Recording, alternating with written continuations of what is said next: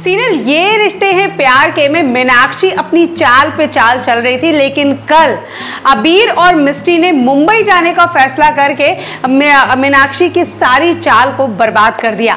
जी हाँ मीनाक्षी यहाँ पर अपने सारे साम, दाम, दंड भेद अपनाकर अपनी बात को हमेशा मनवाती आई है, चाहे वो सही तरीके से हो, चाहे वो गलत तरीके से। लेकिन अब मिस्टी अपने बच्चे को ऐसे घर में नहीं लाना चाहती जहाँ रोज झगड़े होते हैं, जहाँ रिश्तों में प्यार नहीं है, सिर्फ़ साजिशें हैं और मीनाक्षी यहाँ पे पूरे घर को डोमिनेट करती है। ऐसे घर में मिस्टी और अबीर अपने बच्चे की परवरिश नहीं करना चाहते। ऐसे में उन्होंने डिसाइड किया था कि वो मुंबई जाएँगे। सब कुछ हो जाता है। आज के एपिसोड में बड़ी बात यह आप देखेंगे कि पहली बार पायल मीनाक्षी पर चिल्लाती नज़र आएगी।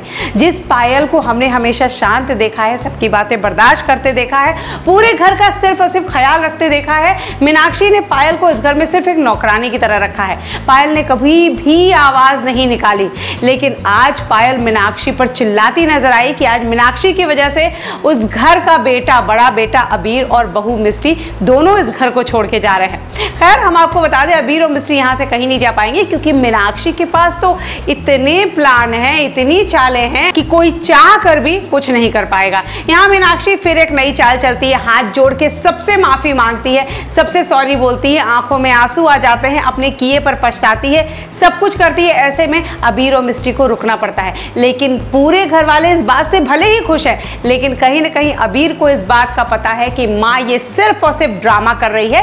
आज नहीं तो कल वो अपनी असलियत पर आ ही जाएगी। वैसे समझ में ये नहीं आता है कि अब बेबी आने के बाद मीनाक्षी कौन सी नई चाल चलने वाली है, जिसकी वजह से उसने हाथ जोड़ के पूरे घर वालों के सामने आँखों में आँसू लेके माफ़ी मांगी है, क्योंकि मीनाक्षी टूट सकती है, झुक नहीं सकती, ऐसा खुद मीनाक्षी ने कहा था। अब देखना यह कि ये मीनाक्षी की कौन सी नई चाल है।